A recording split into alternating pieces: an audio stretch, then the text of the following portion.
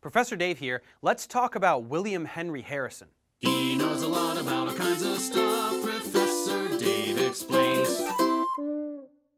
William Henry Harrison was the third war hero and general to be elected president.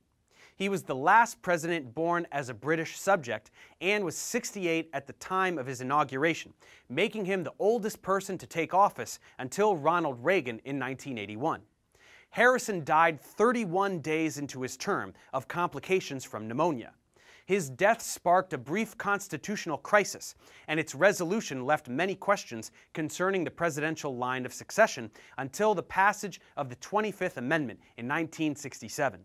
He was also the grandfather of Benjamin Harrison, who served as the 23rd president from 1889 to 1893.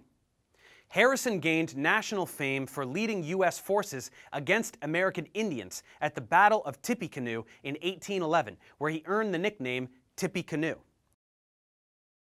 As a general in the War of 1812, his most notable action was the Battle of the Thames, resulting in the death of Indian chief Tecumseh, which caused his Indian coalition to collapse.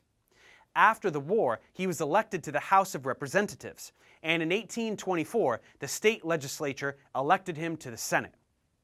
He was appointed Minister Plenipotentiary to Colombia in May 1828, where he urged President Simon Bolivar to adopt American style democracy. Harrison was nominated for the presidency as one of several Whig Party candidates in the election of 1836. He received more votes than any other Whig, but was defeated by Jackson's Vice President Martin Van Buren.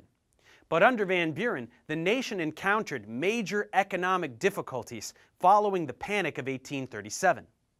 Four years later, a unified Whig Party nominated Harrison over party founder Henry Clay, and fellow General Winfield Scott. Harrison picked Southerner John Tyler of Virginia as his running mate.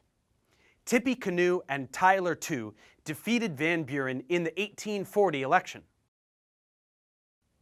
Harrison, who in freezing temperatures gave the longest inaugural speech on record, nearly two hours, caught pneumonia and died a month after taking office. He had the shortest term of any president in history and was the first president to die in office.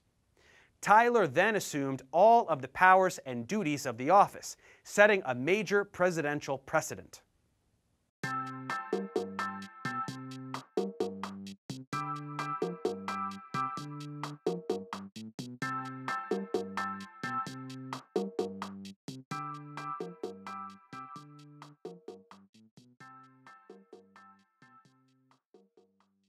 Thanks for watching, guys. Subscribe to my channel for more tutorials. Support me on Patreon so I can keep making content. And as always, feel free to email me, ProfessorDaveExplains at gmail.com.